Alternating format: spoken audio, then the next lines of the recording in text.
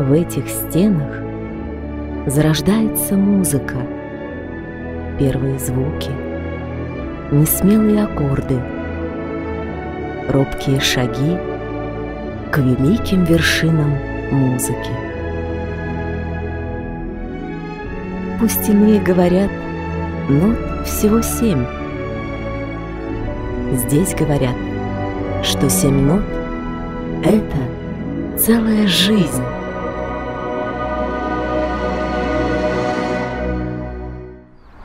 Время безжалостно, и простые ясные слова «музыкальная школа» превратила в МБУ до ДШИ. Но музыка вечна, поэтому официальное название мы произнесем только один раз. Муниципальное бюджетное учреждение дополнительного образования Детская школа искусств имени Модеста Петровича Мусорского, город Железногорск. А теперь давайте вернемся в параллельную вселенную, где все это называется музыкальная. Место битвы добра и зла где бушуют страсти не детские, где Моцарт жив, а Сальери готовит свой яд. Думаете, гипербола? Следуйте за музыкой, и мы покажем вам, глубока ли кроличья нора.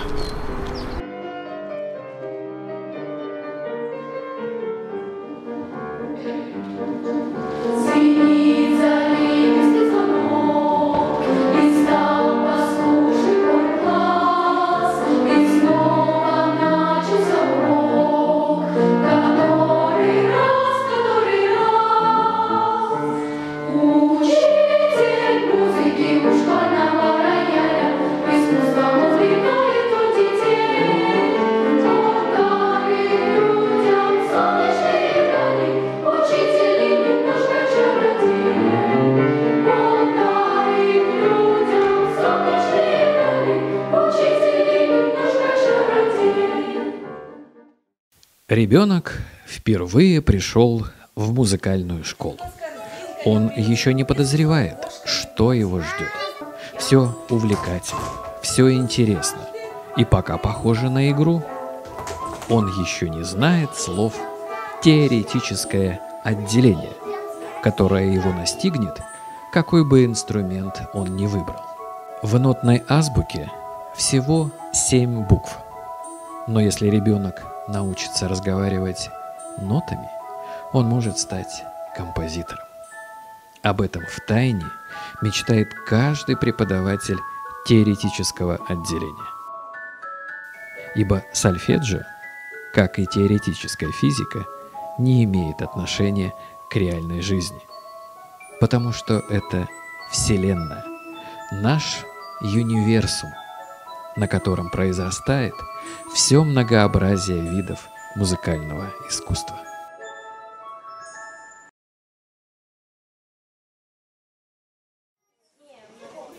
Просвещенные родители знают, что именно музыка развивает детей всесторонне и лучше, чем это делают все остальные кружки. Почему? Объяснение этому феномену дает Дина Кирнарская, называя 10 причин, отдать ребенка в музыкальную школу.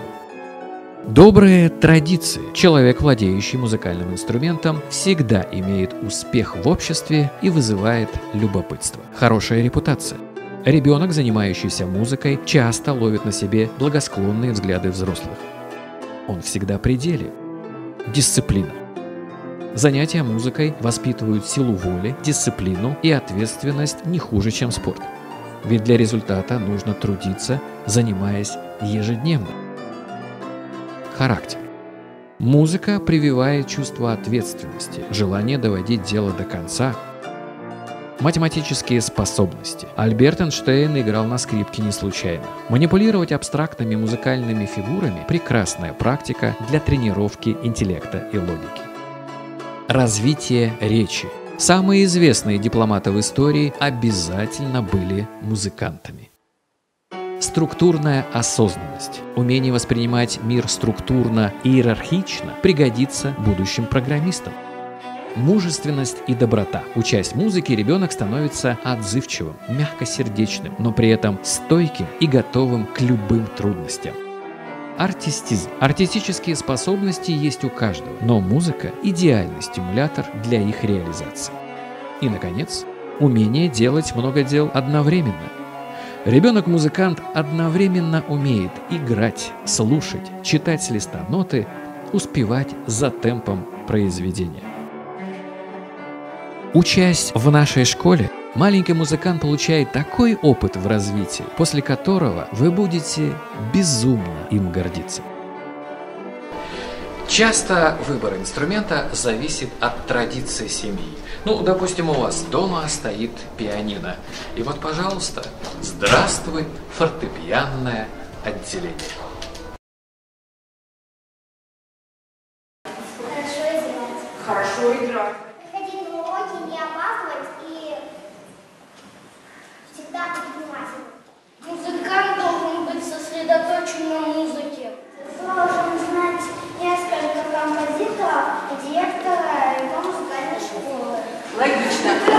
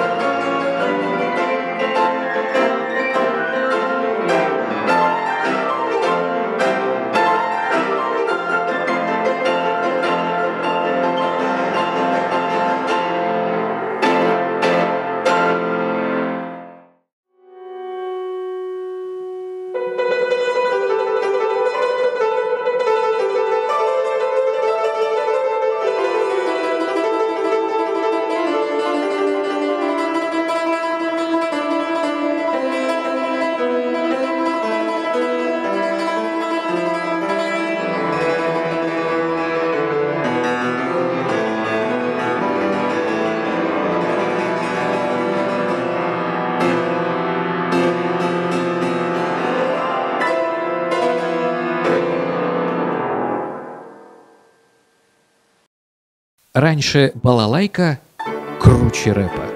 Раньше гармонист первый парень на деревне. Так пела душа народная.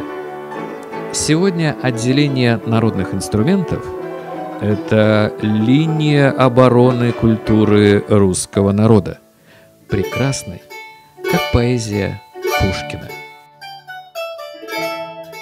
Там чудеса, там леший бродит. Волшебно, дивно, перспективно.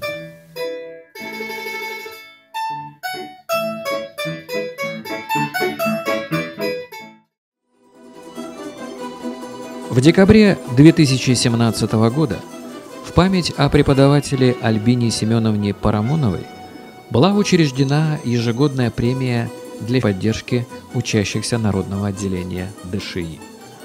Премия вручается учащимся с высокими результатами в учебе, успешно выступающими на конкурсах различного статуса. В 2017 году премию имени Альбины Семеновны Парамоновой получили Нина Симонович, Глеб Поливин, Матвей Ростовцев, Данил Прохоренко,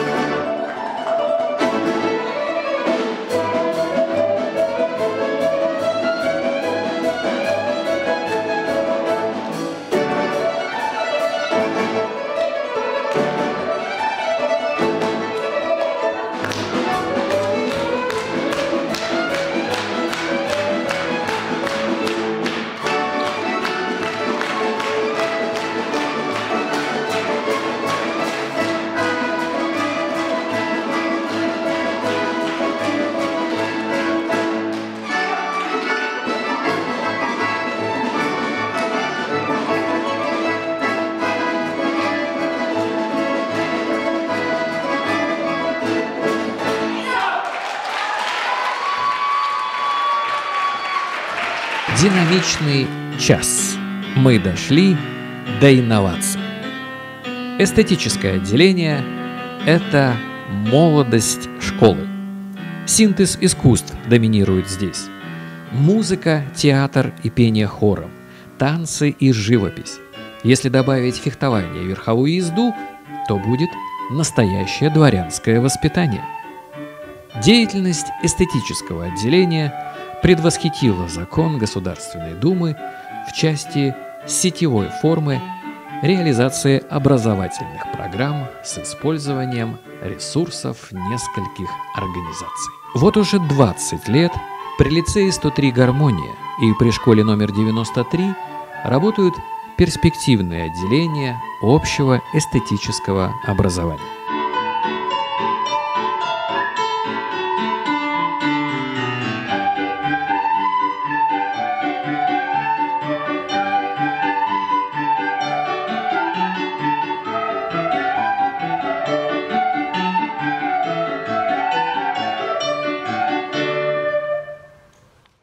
Ценители музыки не случайно приходят на концерт пораньше, чтобы послушать настройку оркестра перед большим концертом.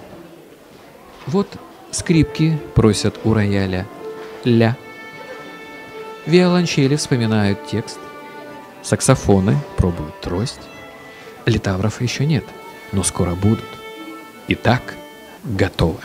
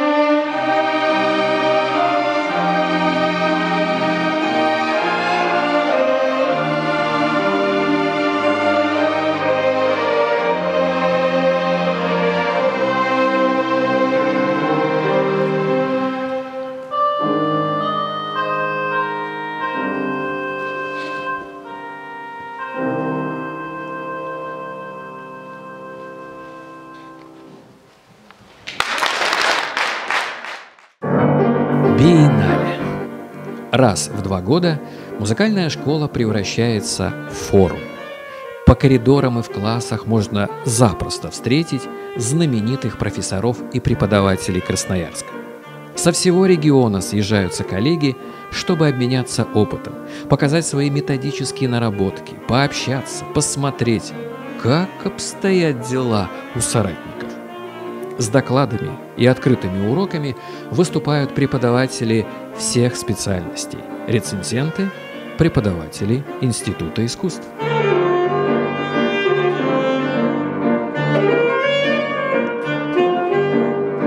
Мастер-классы, в которых участвуют наши юные музыканты, это отдельная большая история. Мастер-класс нередко называют школой распознавания смыслов. В процессе разбора тайных музыкальных знаков, тонкости технических приемов обретается способность самостоятельно и нестандартно мыслить. Действительно, понять принципы нетрудно, но превратить эти принципы в живую музыкальную ткань удается немногим. Мастер-классы дают возможность соприкоснуться с первоисточником, с музыкантами, которые вписали свое имя в историю мировой музыки. Конечно, посетив мастер-класс, не научишься в одночасье виртуозно играть на инструменте. Однако польза таких встреч в том, что авторитетный музыкант может обозначить творческие ориентиры, а главное – показать путь, по которому надо идти, чтобы добиться результата. И для многих, только начинающих свою игру, какая-то даже давно известная идея, высказанная мастером непосредственно лично ему, может перевернуть весь ход дальнейшего творчества и жизни в целом.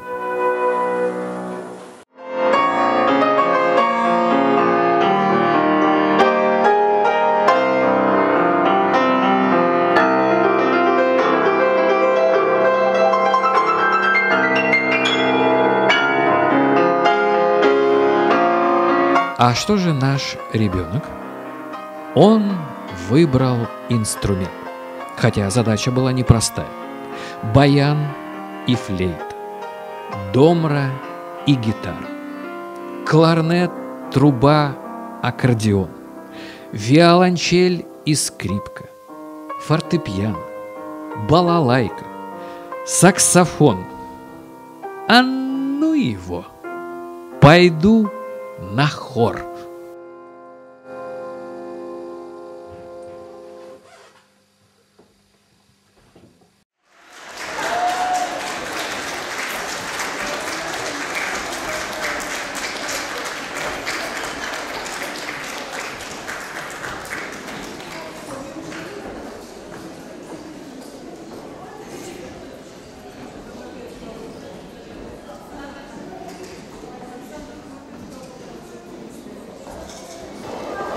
Начинаем хоровой концерт. Герчик, слова Найденовой, барабан, труба, Соснин, слова Синявского. Начинаем перепляс. Исполняет хор эстетических классов. Руководитель Качалова Оксана Леонидовна. Концертмейстер Аксенова Нелла Казбековна.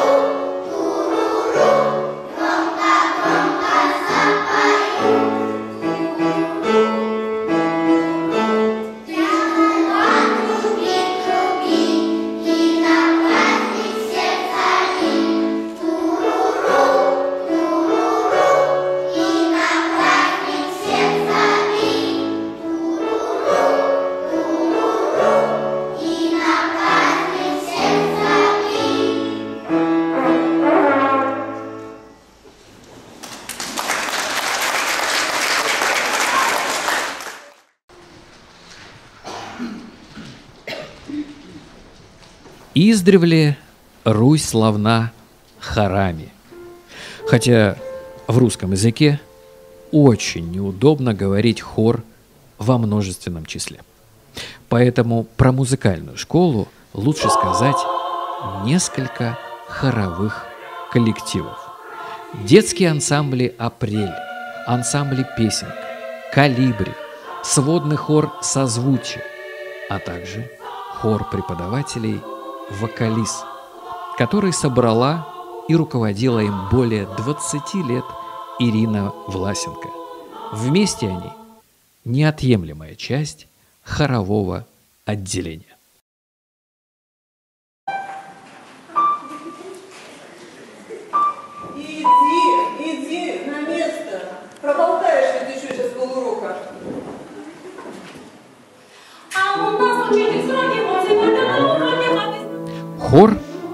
Это рождение творческой смелости. Вот все поют. Ирина Шумская выслушивает каждый голос. И вы поете со всеми. Но в душе вы солист. Ну, пока только в душе. Но вам уже хочется перекричать всех. И вы начинаете повышать голос, сначала робко, а потом сильнее и сильнее. Вам кажется, что вы Лемешев, и тут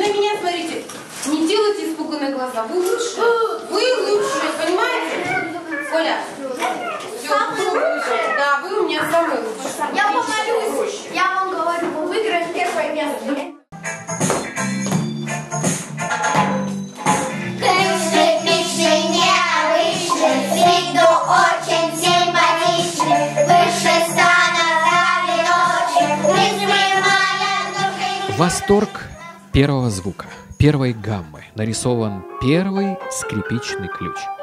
И вот приходит пора выбрать первое произведение. Редкому ребенку удается сделать это самому. На помощь приходит мудрый преподаватель.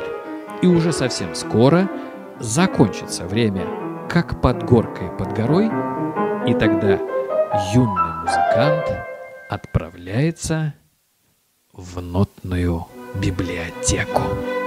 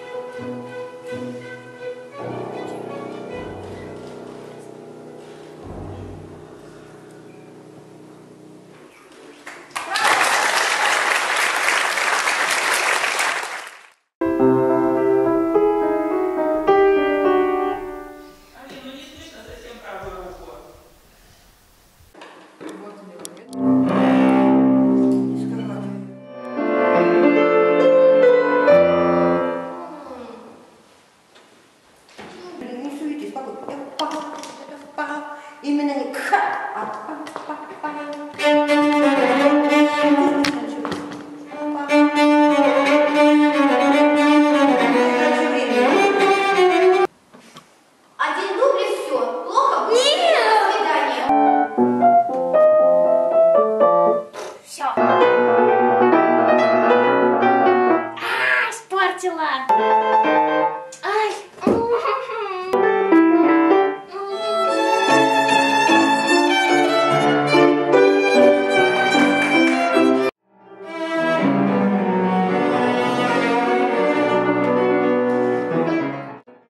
Первый восторг сменяется первым капризом.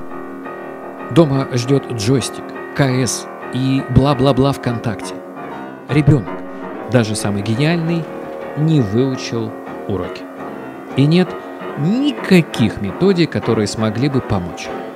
Конфликтология ученика и преподавателя достигает своего апогея именно в музыкальном образовании.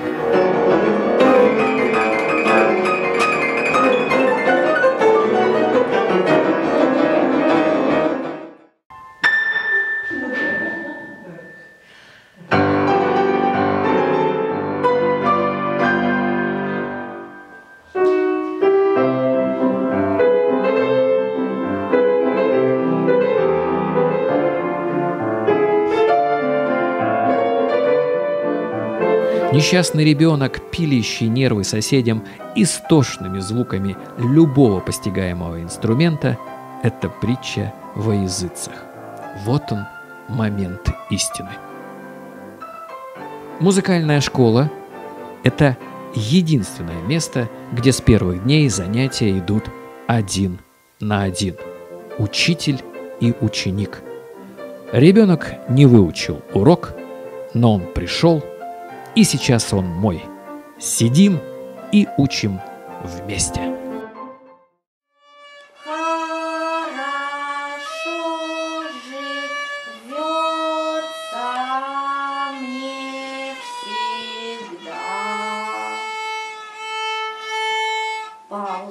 А потом испытание. Первый концерт. Умение не только сыграть музыку, но и подарить ее. Это всегда отдельный навык. Учителя в этот момент сходят с ума и осваивают технику заклинаний. Но если ученик попал во вкус, то его уже не остановить. Это высокий уровень мотивации и мастерства.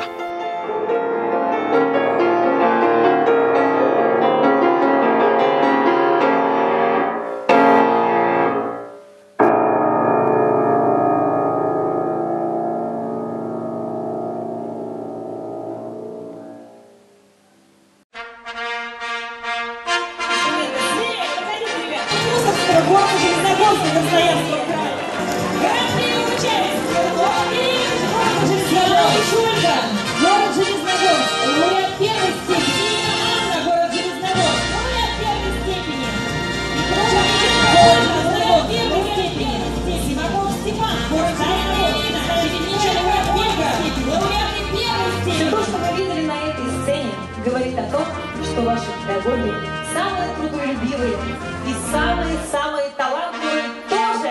Мы их в поздравляем. Наград столько, что создание музея стало насущной необходимостью. Когда нашей музыкальной школе исполнится сто лет, наверняка найдется пытливый исследователь, который сумеет донести нашим потомкам то, что ценим мы и любим, чем гордится коллектив. Ведь мы сами иногда порой с удовольствием достаем бабушкин винил из закромов или даже иногда пьем чай из самовара. А что мы оставим потомкам? Среди исследователей всегда ценится информация об административно-хозяйственной, учебно-воспитательной, методической, творческой и концертно-просветительской деятельности.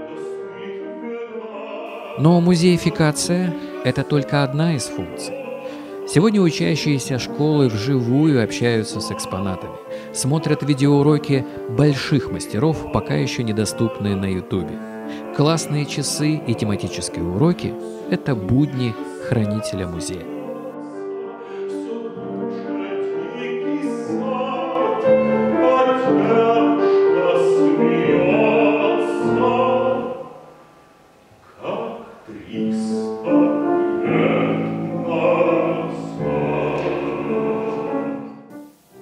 Иногда самые простые вещи из прошлого обретают немалую ценность. Подлинные свидетели событий, дипломы, грамоты, благодарности, программы и афиши концертов, как верительная грамота. Важно, что они не обезличены, а несут имена людей и названия событий, которые стали причиной их появления. Срока хранения наград не существует. Как говорил товарищ Мягков, статистика знает все. А согласно статистике, музыкальная школа только в 2016-2017 учебном году выставила на различные конкурсы 354 человека, из них 308 получили звание лауреатов и дипломантов. Так что нам понадобится стеллаж побольше.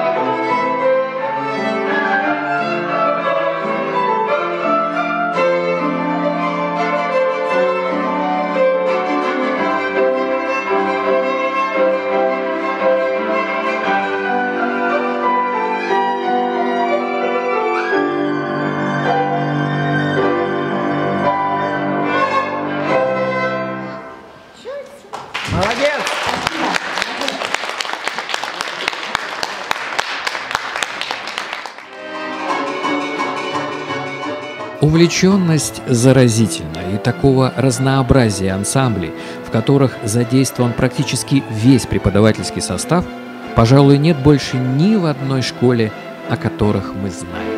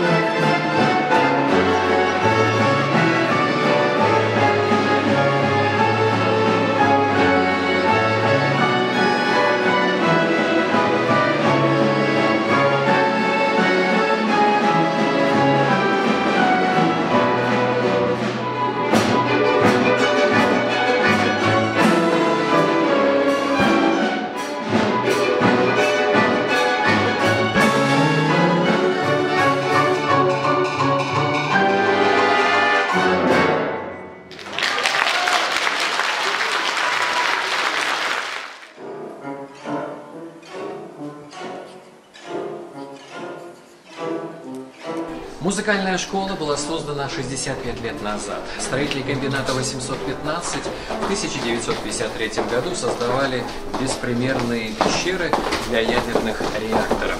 И наверняка им хотелось послушать что-нибудь из Грига.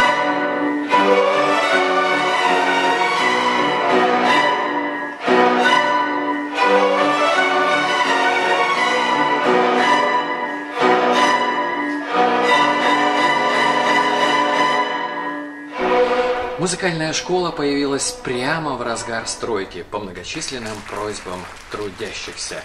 Раньше стадиона, раньше парка, раньше Дворца культуры, раньше космической фирмы. Одновременно с первым кинотеатром.